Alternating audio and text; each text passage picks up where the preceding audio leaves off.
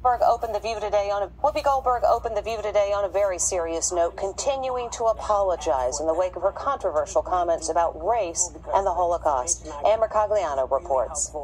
My words upset so many people, which was never my intention. Whoopi Goldberg apologizing on the View today for saying the Holocaust was not about race. I regret my comments, as I said, and I stand corrected. I also stand with the Jewish people, as they know and y'all know. Whoopi caused an uproar Monday discussing a Tennessee school district's controversial ban on Maus, the Pulitzer Prize winning graphic novel about the Holocaust. The Holocaust isn't about race. Her co host seemed taken aback. No, it's well, not about race. It, it, it's, well, no, it's about a different it, race. But it's it's not about race.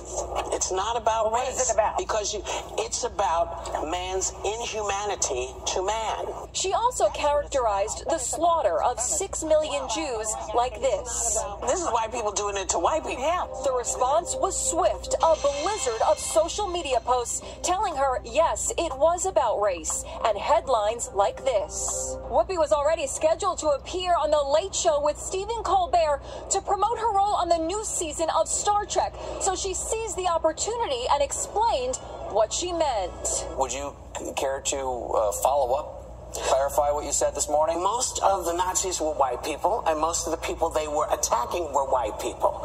So to me, I'm thinking, how can you how can you say it's about race if you are fighting each other? Overnight, she tweeted her apologies. I said the Holocaust is not about race. I stand corrected. I'm sorry for the hurt I have caused. Yesterday uh, on our show, I misspoke. References to the Holocaust come at a sensitive time. Last Thursday was International Holocaust Holocaust Remembrance Day. Acts of anti Semitism are making headlines. Saturday, a snowplow driver appears to deliberately slosh snow over two Orthodox Jewish men walking to synagogue in Lakewood, New Jersey. Then he laughs. The driver has been suspended by his company. Police are investigating.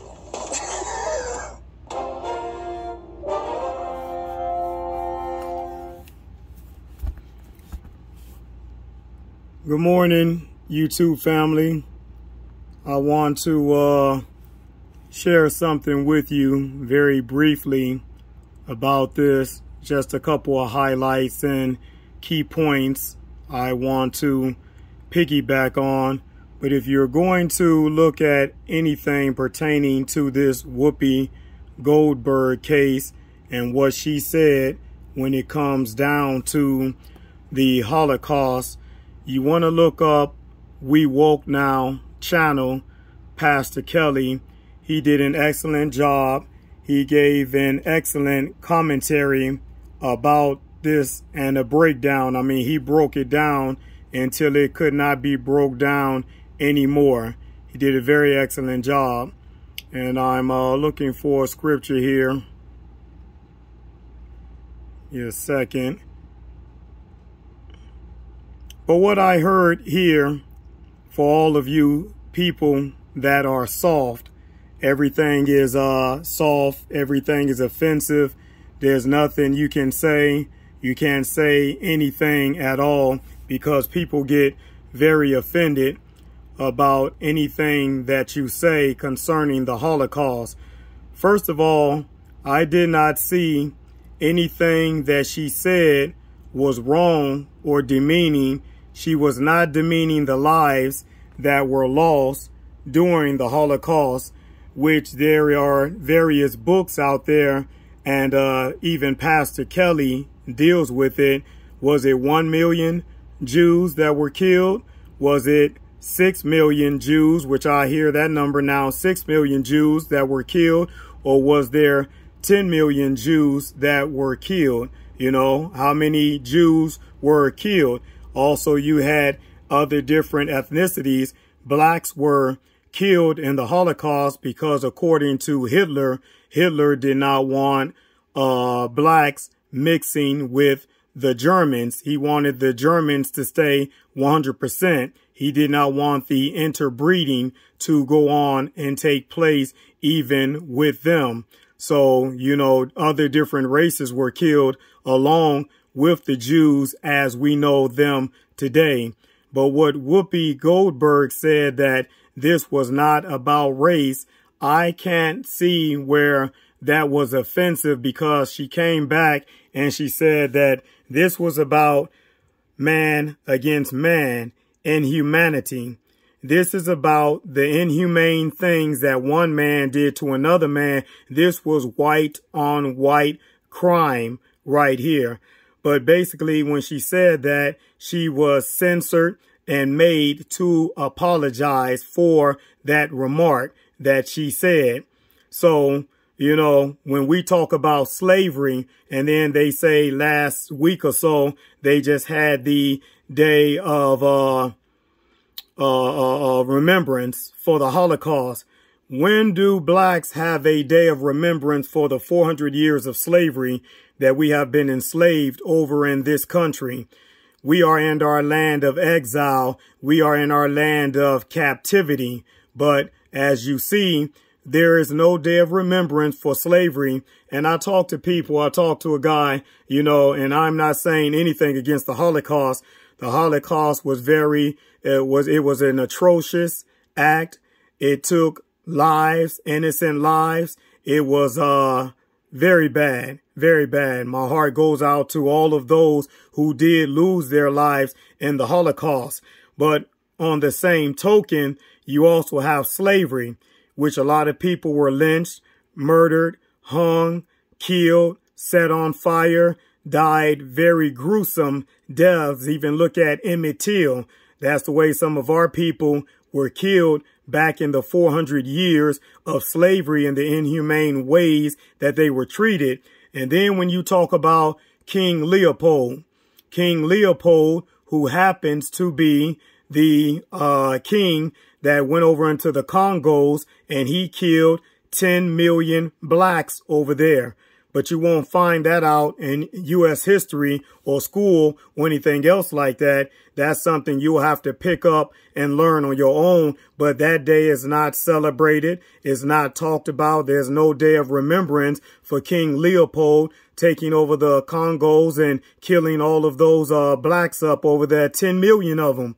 Now, like I said before, the Holocaust numbers has ranged from the 1 million mark to the 6 million mark to the 10 million mark. All you got to do is Google and go on the internet and you will see the various uh, timelines where they say 1 million, 6 million Jews to 10 million Jews were killed. How many of them was actually killed. And what it really all boils down to this month being Black History Month, you know, the channel that Whoopi Goldberg is on is called The View.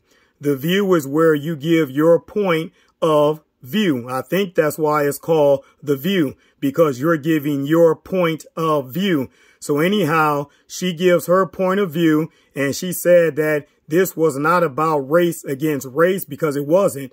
Hitler being German, you know, even fair-skinned white against the other whites. This was not about race. I see her point that she made. It was about the inhumanity of man, man not being human towards another mankind. So when you make remarks like this, you're censored and banned because everything basically is owned by the Jews.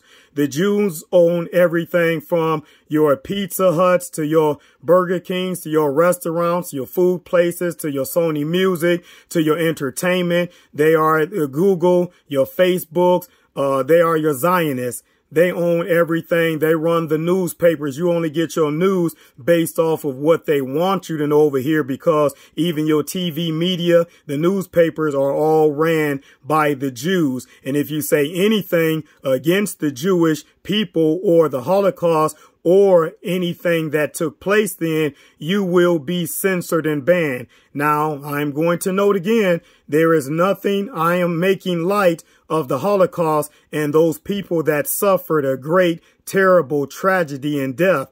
But at in the same light and token, I am saying slavery, we are told we are told as a people, forget your past Quit looking in the rearview mirror. Look forward now. But there's a national day of remembrance for the Holocaust. But as black people that the United States so call us, where we don't even know our country of origin because they just define us by black, which we are, which we are not black, but a brown skinned people we are told not to remember what the United States of America did to our people, but forget it. Get past it. Get let put that stuff behind you. Quit looking in the rearview mirror. Go forward now. You have more economical advances than we ever had in life before. Oh yeah?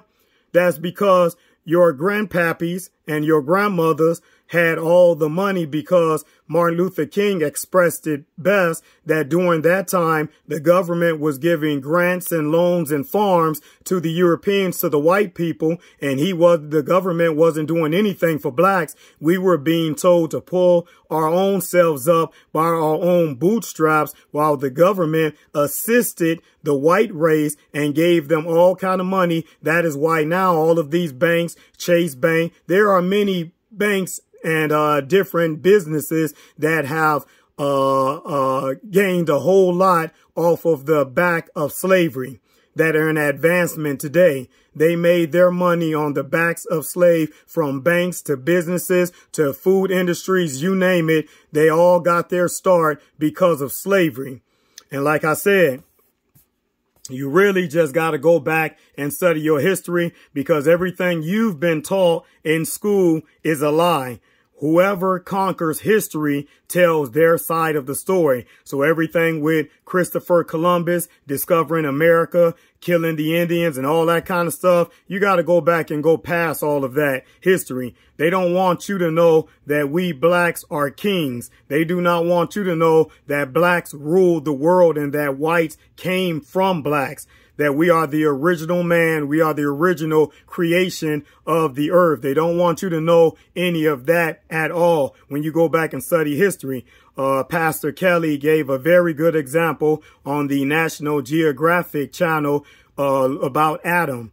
Where did life and origin all begin over in Africa with the first man, the recreation of Adam? And get a look at that video uh, go to Pastor Kelly's We Woke Now, and he has the National Geographic channel on there where he explained and he talked about that the first man, Adam, was a black man, and he talks about the genes and everything else like that, tying us back to the Lemba tribes and over in Africa where the Garden of Eden was. So all life has its origin from us. See, everything's just been stolen from us as a people. You know, the, the white man, the European race, they've stolen everything for years and tried to make it seem like it was theirs. They stole our inventions when we were in slavery and they patented them after themselves. They stole all, the, all of our ideas. They know we were first. They know that they came from us and they're trying to suppress authority over us because somebody has to be in the rule.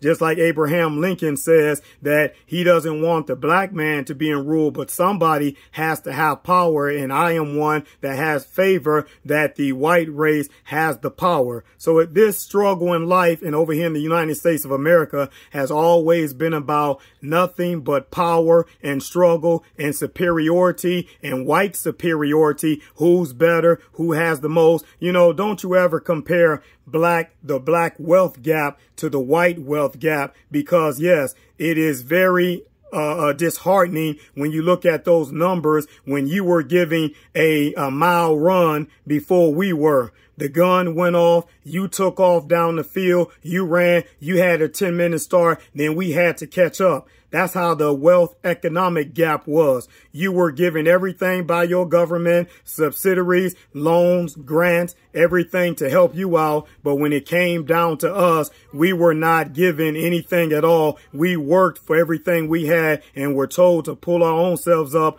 by our own bootstrap.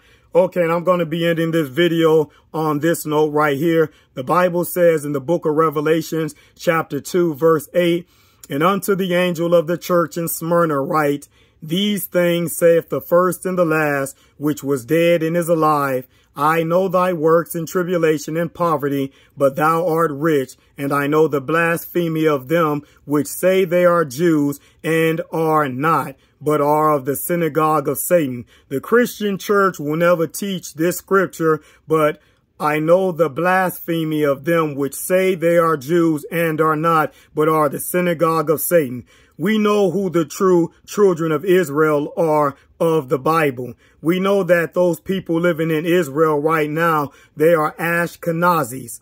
They are from Russia, Germany, uh, Germany, Russia. They're from that region, that area. They are not the descendants of the Bible. They are not the true Jews of the Bible, if you want to use that terminology, Jews. But they are not the Israelites that the scriptures speak of. And God says that he is going to make them, those Jews, come and bow down and worship at the feet of his people. He knows that. So the whole world right now is coming into acknowledgement of who we are as the true people of God, everyone's waking up, waking up. There's a great awakening taking place right now. That's why many of you are coming out of Christianity, coming out of false religion and church, because church has done nothing but preach about tithes, offering, prosperity, and money for years, and you haven't developed any knowledge or education on who you are as a people. So, I said all that to say this. The Bible says in Daniel in the last days that knowledge shall be increased and people shall run to and fro. God is increasing his people's knowledge to where we know who we are. We are the descendants of Shem. We are the true Hebrew people. We are the true Hebraic people that the Bible speaks of. And God is going to make those who say they are Jews and are not, but of the synagogue of Satan, he is going to make them bow down at our feet and worship us and know that we are the ones that he has loved. This race of people, this brown skinned, this dark race of people that have been ostracized, that which have been called names and demeaned and looked upon as poverty stricken, uh, uh, health stricken, all kind of sickness, no kind of common sense. when it comes down to finances or anything else like that, when it all boils down to it, God is going to let you know that these are the true chosen people of the earth that I have chosen for myself. I have taken the lowly, base things of the world, and I have making them to be prized possessions as the apple of my eye. All right, brothers and sisters, that's all I wanted to share with you real quick about Whoopi Goldberg having to be apologizing, just like Nick Cannon. Nick Cannon had to apologize before because he came out with the knowledge of who he is and who we are as a people. Whoopi Goldberg acknowledges who she is. She knows her true Jewish roots or Hebrew roots at, at, that, or what kind of person she is. But you see, you're not going to get around the table of white women and think you fit in just because you're on that group. So they had to pull a rug from underneath her feet and let her know this Black History Month. Oh no, sister, don't go there. Just because you're sitting at this table with white women, this does, make, this does not make you part of this group at all. So until you come back with an apology and apologize to these people, you may not come back at all. So that's all something that's enlightening and eye awakening. Just something for you to take note of. There was nothing she said wrong with that comment. And even take a look at that book that she read that's called Maus. That's describing the Holocaust and what went on and what took place. All right, brothers and sisters, shalom.